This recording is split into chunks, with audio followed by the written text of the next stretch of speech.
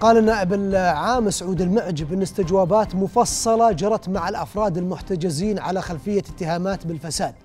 وأكد أن ما جرى في الرابع من نوفمبر استكمال المرحله الأولى من مساعي مكافحة الفساد. وأضاف كان من الضروري استكمال المرحلة الأولى في سرية لتفادي الإفلات من العدالة وشدد على انه يتم منح المشتبه بهم نفس الحقوق والمعاملة اللي يتمتع بها أي متهم آخر ولا يؤثر منصب أو وضع المشتبه بهم على التطبيق الصارم للعدالة.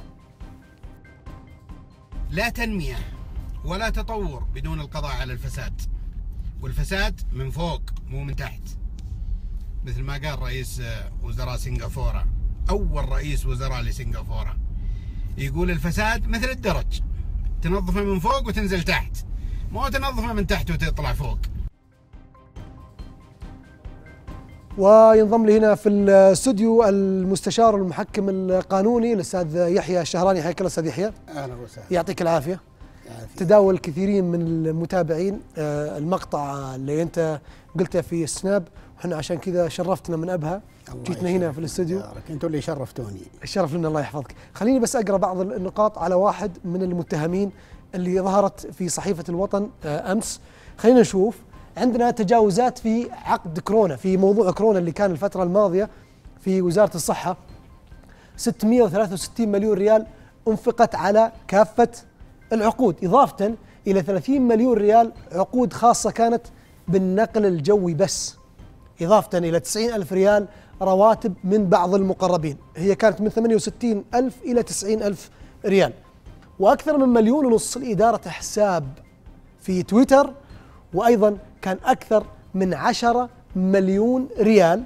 آه لحملة إعلامية مدتها بس سبعة أسابيع.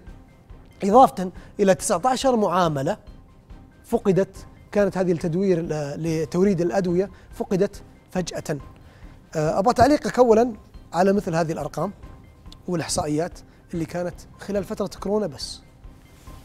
طبعا 90 ألف ريال رواتب مقربين إيه هذا راتب شهري إيه اي مو بالمجموع لا مو بالمجموع لما لا. تحسبها تضربها في أيه، الشهور يمكن لو ضربتوها يطلع أكثر من كذا يصير بكثير. كثير آه، حقيقة آه، الحديث عن مثل عن التفاصيل آه، يحتاج حقيقة الغوص في التفاصيل كيف؟ يعني, على يعني علشان واحد يجي يقول لك إن هذه الأمور فيها فساد أو يعتريها فساد يحتاج إنه. يطلع على ملفات هذه القضايا صحيح. التحقيق التحقيق والجهة القضائية المختصة التي ستنظر الدعوة هي التي ستقول لك بالتفصيل الإجابة على هذا السؤال. أين صرفت هذه الأموال؟ كم نسبة الفساد؟ كم نسبة الأموال التي صرفت بشكل غير نظامي؟ وكم نسبة الأموال اللي صرفت؟ لأن, لأن هذه أموال مختلطة. هذه أموال مختلطة. فيها ما صرف بشكل مشروع وفيها ما لم يصرف من تحت بشكل الطاولة. مشروع. من تحت الطاولة أو من فوق الطاولة. صاروا يشتغلون فوق الطاولة في الفترة الماضية طيب. مو من تحت الطاولة. الرابع من نوفمبر كان تاريخ مشهود. انت تنبأت آه، في مواقع التواصل الاجتماعي قبل يمكن أسبوعين وقبلها بشهرين بس إحنا نتكلم على الأسبوعين اللي كانت تسبق الرابع من نوفمبر. تنبأت إنه آه، عهد الحزم وال- والعزم بيكون يعني صارم جدا على الفاسدين. وإني أرى رؤوسا قد أينعت وحان قطافها كيف؟ يعني هذه الكلمة أنا أنا قلتها قبل أكثر من شهرين إيه ومن تابعني ويتابعني في السناب يعلم أني أقول هذا الكلام منذ أكثر من شهرين. أيوه. طبعا التفاؤل الموجود عندي هو قراءة قراءة للواقع. عندما يأتي الملك سلمان في أول يوم من تولي الحكم فيصدر أمرا ملكيا بإعفاء رئيس هيئة مكافحة الفساد وتعيين رئيس جديد لهيئة مكافحة الفساد. هذا مؤشر هذا مؤشر عدم رضا. الأمير محمد بن سلمان تكلم عن هذا. في لقاء تلفزيوني مم. وتكلم إنه الملك غير راضي عن مستوى النزاهة والشفافية في البلد ولذلك كان أول قراراته إعفاء مهم. الرئيس السابق والإتيان برئيس جديد. هذه كانت مؤشر إلى عهد جديد سوف يتم فيه إن شاء الله القضاء على الفساد آه هذه كيف ممكن تنعكس ايجابيا في المرحلة الجاية مثل هذه القرارات اللي صدرت في الرابع من نوفمبر وبعدين القبض على ناس عندهم شبه فساد. كيف ممكن تنعكس على البلد عموما؟ هو شوف بقاء الفساد سينعكس سلبا. محاولة الق... لن تستطيع أن تقضي على الفساد. أول شيء هذه قاعدة عامة. الفساد موجود في كل بلد. لكنه نسبي. يعني من عهد النبي صلى الله عليه وسلم في عهد النبي صلى الله عليه وسلم كان هنالك فساد موجود. طيب. وكان النبي صلى الله عليه وسلم يعتلي المنبر ويلمح لبعض الفاسدين. يقول ما بال أقوام أيوه. يفعلون كذا وكذا. يلمح مثل ما بدأوا يلمحون ميم عين فاء قاف إيه. بعدين بدأوا يصرحون فيما بعد. فالفساد موجود لكنه نسبي. الفساد خلال الفترة الماضية حقيقة بلغ نسب مرتفعة جدا. إحنا نتوقع نتوقع من خلال الإجراءات لأنه أنا واحد من الناس اللي كنت أنتقد مسألة أنك تبدأ من الأسفل للأعلى. ولذلك أنا قلت في السناب أيوة، قلت من الأعلى؟ أي نعم من الأعلى للأسفل. أي. تج- التجربة السنغافورية حقيقة تجربة ودي أنها تستنسخ. في تجربة القضاء على الفساد في السعودية. أول رئيس وزراء لسنغافورة بعد الاستقلال أخذ بنظرية الدرج. قال الدرج من فوق؟ اي نعم. يقول لك تبغى. تنظف الفساد في البلد ابدأ من فوق. إحنا الآن حقيقة بدينا عملية. إحنا الآن حقيقة بدينا في التطبيق العملي لهذه النظرية اللي هو ابدأ من فوق وانزل تحت. ولو أن فاطمة بنت محمد سرقت سرقت لقطعت لقطع- يدها هذا. كان في قمة الأمر الملكي العدالة. موجودة. قمة العدالة والنزاهة. طيب. الآن لما نتكلم إنه المال العام إن شاء الله إنه محفوظ واللي فات ما مات والملفات ما أغلقت الملفات الآن تفتح. هذا إيش بيسوي الفترة الجاية؟ في ناس كثير. أنت قلت قلت في السناب عشان بس الناس اللي ما شافوا إنه بيكون بينبثق من هذه اللجنة لجان فرعية. لجان فرعية في مناطق كثير. ها؟ طبعا هذا قراءه أي. طبعا أنا لست من أولي الأمر حتى إني أنا أقول يشكل لكن القراءة. هذه كانت- لكن القراءة هذه واضحة. ملفات الفساد عندنا أكبر وأعظم من أن تتولاها لجنة من ستة أو سبعة أشخاص. ملفات الفساد عندنا بحاجة إلى جيش. أيوه. جيش للقضاء على الفساد في البلد. ولذلك الملفات متناثرة. في كل منطقة من مناطق المملكة في ملفات.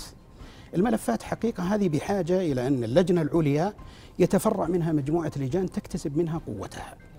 وتعمل بدون بيروقراطية حقيقة مثل ما نشأت هذه اللجنة العليا بدون بيروقراطية يعني من أهم عوامل نجاح أي لجنة ابحاثها عن البيروقراطية لأن البيروقراطية شكل من أشكال الفساد الشيطان دائما يكون في التفاصيل أي بس انت أنت كيف تقول إنه اللجنة اللجنة هذه ما فيها أي بيروقراطية لأنها استثنيت في الأمر قصدك؟ طبعا استثنيت في الأمر السامي عندما شكلت من قبل خادم الحرمين الشريفين إيه. قال إن هذه اللجنة ليست ملزمة بالعمل بأي أنظمة أو تعليمات سابقة.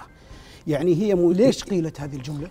قيلت لأنه إذا أنت بتأخذ شخص متهم إيه وتحتجزه إيه وتحقق معه أنت ملزم بنظام اسمه نظام الإجراءات الجزائية. أيوة. في مسألة التكييف في مسألة الإيقاف في مسألة الإطلاق في مسألة كيفية التحقيق في مسألة الحجز على الأموال في مسألة المنع من السفر لها إجراءات. وهنالك جهات مختصة بالتحقيق. هذه اللجنة ليست لي يعني لو لم يصدر هذا الأمر السامي لم تكن هذه اللجنة مختصة بالتحقيق. وبهذه القوة؟ الملك باعتبار انه مصدر السلطات في البلد. عندما أنشأ هذه اللجنة أعطاها سلطة التحقيق. ونزع عنها بيروقراطية الإجراءات الإدارية المنصوص عليها في نظام الإجراءات الجزائية. يعني حققوا مع من تشاءون كيفما تشاءون بالطريقة التي تشاءون احجزوا اسجنوا امنعوا من السفر آه، اجمعوا أدلة الجريمة. آه، أنا أعتقد إن هذا سينعكس ايجابا على عمل اللجنة العليا. وأيضا بينعكس ايجابا على كثير من الوزارات اللي عندها تعطيل لكثير من الأوامر.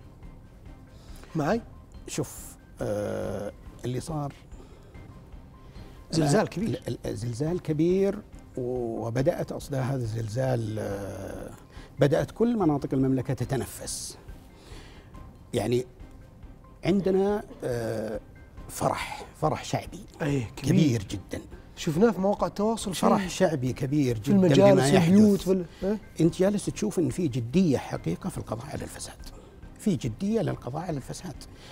الفاسدين هذولا ترى ماخذين هالأموال الأموال هذه ترى من أموال الشعب. من أموال الشعب من أموال من بيت مال المسلمين. اللي المفترض أنه يصرف على التنمية. المفترض المفترض أنه يصرف على ال- ال- البطالة اللي جالسة في البلد. المفترض أنه يصرف على الفقر. المفترض أنه يصرف على الإسكان. كثير من المشاكل موجودة عندك هنا.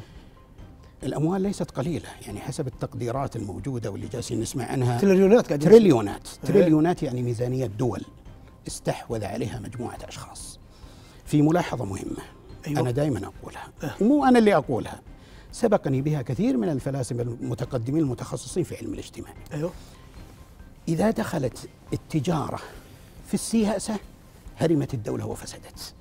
الآن اللي موجود عندنا إيقاف كامل لمثل هذا شوف التلاعب يا سيدي شوف يا سيدي إذا دخلت التجارة كلامي واضح إذا دخلت التجارة في السياسة هرمت الدولة وفسدت اللي إحنا. حقيقة أدخلنا مجموعة من التجار في السياسة المقصود بالسياسة هي سياسة البلاد والعباد لما تجي هذه. هذه تجربة فاشلة مسألة أنك تجيب تجار وتجعلهم يديرون السياسة في البلد كيف؟ كما قال ابن خلدون إذا دخلت التجارة في السياسة فسدت البلد. يعني أنت تتكلم على أنه في مسؤول فرضا كان وزير وزيرا ما؟ ما هو مسؤول يا سيدي ما هو مسؤول. مجموعة كبيرة من المسؤولين شغالين في التجارة وماسكين السياسة. والان ولا ولذلك إحنا نقول لكن مثل هذا الأمر السياسة الآن- وفي نفس الوقت هو تاجر سوف يخضع هذه السياسة لأهوائه لكن الشخصية. الآن ال- ال- اللي مقبوض عليهم هذول الآن أنت تتحدث إنه يعني شبه انتهى هذا الموضوع.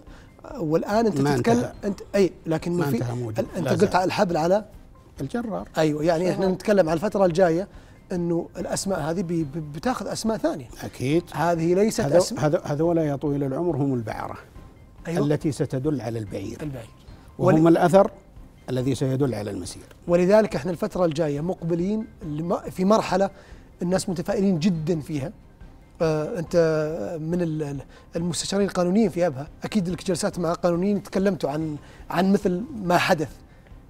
كيف بينعكس أيضا على العمل القانوني في البلد والقضائي والله شوف هنالك ارتباط وثيق بين مسألة سيادة القانون والقضاء على الفساد. أها. آه، إذا ما كان عندك سيادة للقانون في البلد لن تقضي على الفساد. من أهم أسباب وعوامل القضاء على الفساد سيادة القانون. إذا طبق النظام على الكبير والصغير والأمير والوزير مم. هذا من أهم عوامل القضاء على الفساد. أنا شاكر لك أستاذ يحيى الشهراني. حضورك معنا من أبها. شكرا لك ويعطيك العافية. الله نستفيد. منك آه، قانونيا وقضائيا يا سيدي. الله يبارك. الله. يحفظك. فرصة سعيدة. شكرا لك يا سيدي. على خير. الله يحفظك.